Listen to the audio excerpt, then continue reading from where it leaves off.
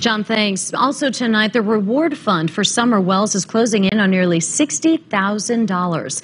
The Church Hill Rescue Squad said today the total amount right now is $58,634.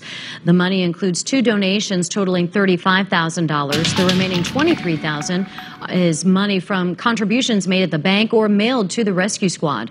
The total amount increased by $18,000 in less than a month. On October 5th, the fund totaled just over 40,000.